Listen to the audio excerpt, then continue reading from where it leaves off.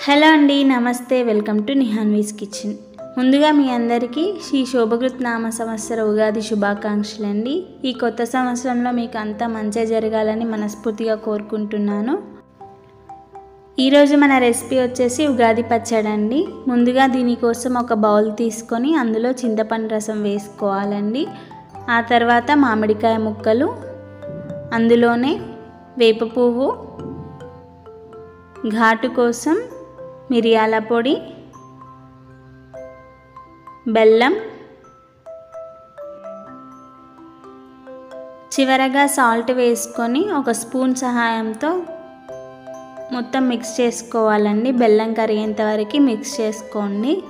ఇలా మిక్స్ చేసుకున్న తర్వాత మీకు కావాల్సినన్ని వాటర్ యాడ్ చేసుకోవాలండి.